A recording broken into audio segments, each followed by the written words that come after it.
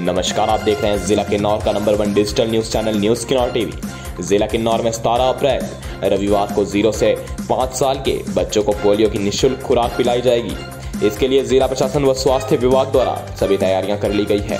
इसकी जानकारी देते हुए जिला टीकाकरण अधिकारी किन्नौर डॉक्टर अन्वेषा नेगी ने बताया कि इसके लिए ज़िले में 100 पोलियो बूथ स्थापित किए जाएँगे, जिसके तहत सांगला क्षेत्र में तेरह रिकांगपियो क्षेत्र में सतारह। भूखंड में चौंतीस तथा निचार खंड में छत्तीस पोलियो बूथ स्थापित किए जाएँगे। इस कार्य को पूर्ण करने के लिए 412 स्वास्थ्य कार्यकर्ताओं, आंगनवाड़ी कार्यकर्ताओं व आशा वर्कर की सेवाएँ ली जाएगी। इसके अलावा 20 पर्यवेक्षक भी तैनात किए जाएँगे।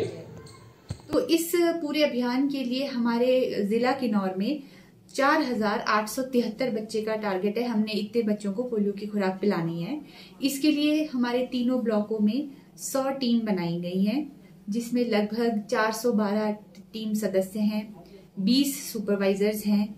इनके अलावा, बूथ टीम के अलावा हमारे दो ट्रांजिट पॉइंट हैं, एक चौरा में है और एक आकपा में है।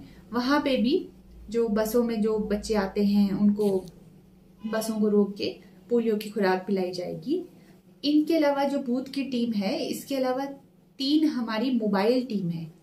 जो माइग्रेंट लेबरर्स हैं या फिर कोई कंस्ट्रक्शन साइट पे काम कर रहा है लेबर्स के बच्चे हैं तो उनको भी, जिन, जो अपने घरों में नहीं है, उनको भी पकड़ के पोलियो की खुराक पिलाई जाएगी ताकि कोई भी बच्चा हमारे जिला किन्नौर में पाँच साल तक का पोलियो की खुराक से वंचित ना रहे।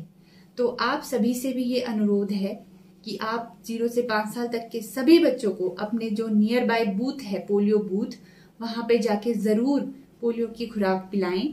और अगर आपके घर में नहीं है बच्चे, फिर भी आप अपने आस पड़ोस में, जिनको भी आप जानते हैं, जिनके घरों में पाँच साल तक के बच्चे हैं, उनको ये जानकारी ज़रूर दें कि पोलियो हमारा कल सत्रह तारीख के लिए निर्धारित किया गया है। वहाँ पे पोलियो की खुराक ज़रूर पिलाएँ। धन्यवाद।